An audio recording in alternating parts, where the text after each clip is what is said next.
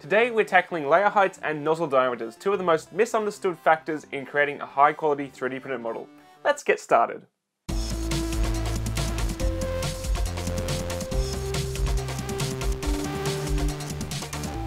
Hello, my name is Angus and welcome to 3D Printing 101 here on Maker's Muse. So when you're shopping for your first 3D printer, often layer heights is a number that gets thrown around. You'll hear companies say such things as prints down to 50 microns or prints twice the level of detail as this other printer on the market. But what does that actually mean? Well, in the case of FDM technology, that is fused deposition modeling, the layer height refers to each step your 3D printer moves up in the Z direction as it draws each layer of your 3D print. Essentially what happens is it will draw line by line each layer and it will move up by a certain amount, a minute amount again and again to create your 3D print. And the amount it moves up by is your layer height.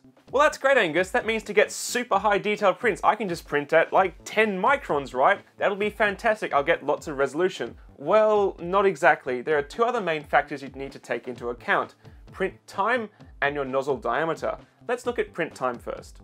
Here I've got a simple cube within Simplify 3D, and we're going to slice it at 200 microns, that is 0.2 millimeter layer height. I have infill set at 20% and I have no raft or brim turned on to keep things simple.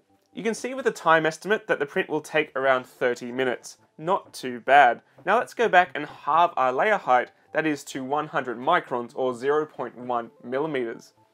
This means there will be twice as many layers that the printer needs to lay down for the same size print, resulting in twice as much resolution in the Z direction. You can see that while the material use is almost identical to the other print, the time to complete the print has almost doubled. And here's the two cubes side by side. For a print like this, it's very difficult to actually justify a longer print time, as you can't really see any significant difference. And with this model, for example, the white part is actually printed at 350 microns, which is very coarse for an FDM 3D printer, but due to the geometric design, it actually looks quite good, and it prints roughly three and a half times faster than if I printed the same model at 100 micron layer heights.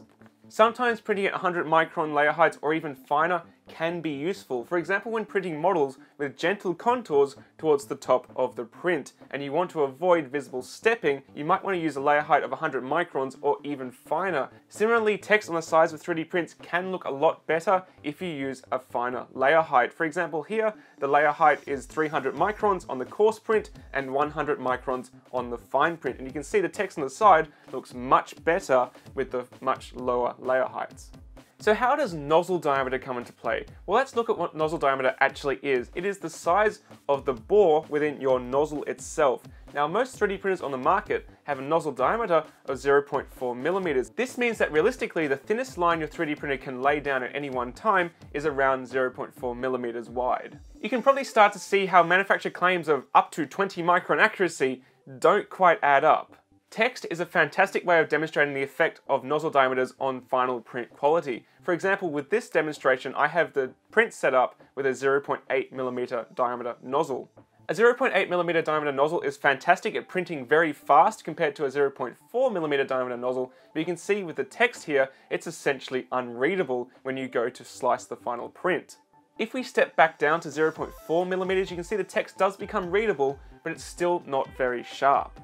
Now, depending on your make and brand of 3D printer, you can buy nozzles all the way down to 0.2 millimeters in diameter. And if we were to print this model using a 0.2 millimeter diameter nozzle, the text would be extremely crisp. But do keep in mind, very fine diameter nozzles are very difficult to print with. You have increased pressures within the hot end, and also you have to make sure your bed leveling is absolutely spot on also, do keep in mind that the finer nozzle diameter you use, the longer your print will take, even if you're not changing your layer heights. And this is because the nozzle needs to move a lot more to fill in the same area that a larger diameter nozzle would. So a 0.2 millimeter diameter nozzle will need to move an awful lot more than a 0.8 would to fill in the same area.